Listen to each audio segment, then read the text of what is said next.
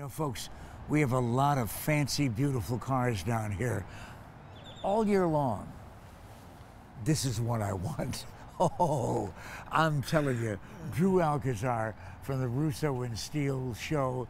He's back after 19 years. We've been doing this a long time. this, right? yes, we have. And so the Russo and Steele event, though, is when and where? That's the most Well, we're, we're back at uh, Salt River Fields, right there uh, across from Talking Stick Casino, right off the is 101 car freeway. week?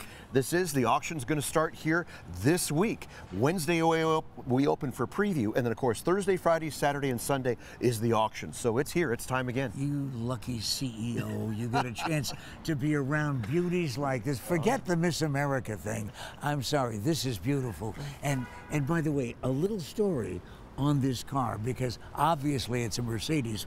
What year? This is a 1957 190 SL. So this is the little brother to the big 300s. And I got to tell you, there's something pretty special in the back. Come here and take a look at this. Fully restored car. Okay, well, wait a minute though. How, you mean it's it's as special as any of this? Look at this. Hey, Andrew, take a look at this. This is fitted leather luggage in back of the seats. And this comes from the factory like this. You got something even more impressive?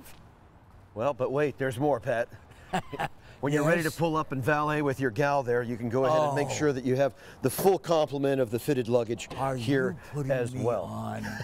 Isn't she It's not beautiful? enough that you have the small bags, but the entire wardrobe is in here. Well, of All right. course, you know, your gal's got to get well taken care of when you go up there Okay, to Sedona or something. all right, Drew. Look, I know I can't afford it right off mm. the top, right off the lot, if there ever was a lot for this. Mm.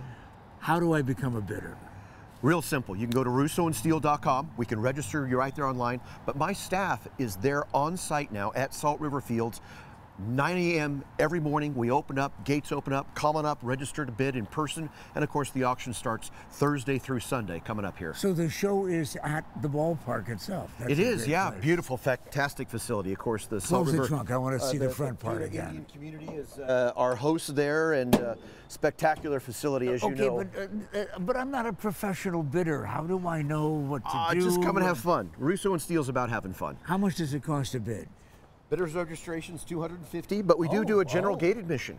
General gate admission's $30, and Sunday we're doing a special family day. Bring everybody out, a reduced gate admission, only $20 on Sunday. I believe that the phrase that's appropriate is "Get out of here!" Are you kidding? Thirty bucks to go in and spend the day? Oh yeah, lots of fun. I, all right. If I am a bidder, though, how do I trust the condition of the cars? They look great on the outside, but how do I know what I'm getting? Well, it is caveat emptor for better, so You have to absolutely make sure that you do your inspe- inspections ahead of time. Once you bid it, you buy it, you own it. Okay, Caveat Emptor, by the way, is the name of the model of this Mercedes. Just go and ask for it and say Drew Alcazar, Russo and Steele, and it's all this week.